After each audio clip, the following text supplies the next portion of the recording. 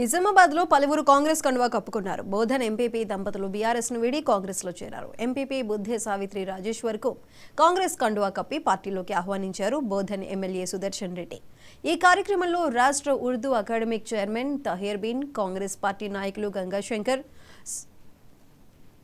Congress party అధ్యక్షులు మందన్న రవి స్వామి గౌడ్ రాజాగౌడ్ తదితరులు ఉన్నారు.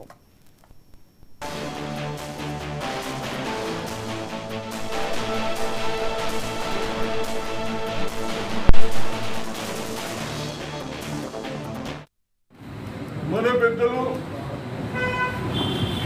నెహ్రూ గారు కానీ గాంధీ గారు కానీ అంబేద్కర్ కానీ గత డెబ్బై సంవత్సరాల క్రితము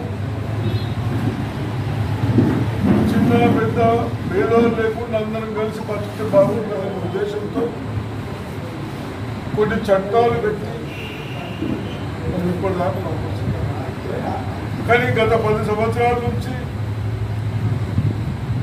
సెంట్రల్ గవర్నమెంట్ అయితేమి స్టేట్ గవర్నమెంట్ అయితేమి ఇష్టరాజ్యంగా మన స్వార్థాల కొరకు మనకేదో మెంబర్షిప్ ఇచ్చి ఒక పోస్ట్ ఇచ్చి సంతోషపరిచారు కానీ మనము మన పిల్లలు ఎలా ఫ్యూచర్ ఉండాలి? భవిష్యత్తులో ఎలా ఉంటే అందరం బాగుపడతాము ఆ రోజున విధానాన్ని పక్కన పెట్టి ముఖ్యమంత్రి కేసీఆర్. మళ్ళీ ఈ దరిద్రుడు అంటా ఉన్నారు ఎలక్షన్ అనేది కాగానే ఈ ప్రభుత్వం పోతుంది కూలిపోతుంది నేను కేసీఆర్ గారు అడుగుతా ఉన్నాను మీ దద్దమ్మ పనులకు బంగారు తెలంగాణని తెచ్చుకున్న తర్వాత మేమందరం సాక్రిఫై చేసి తెలంగాణ ఇప్పిస్తే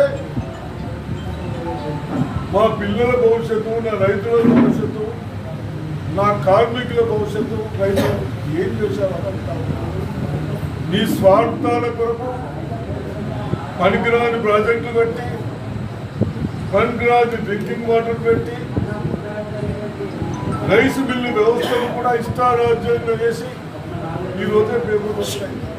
ఇంకా ఎనిమిది వందల కోట్లు. అందరు అమ్ముకున్నారు ఎవరు అడుగుతున్నారు అది తాపదారి కేసీఆర్ గారు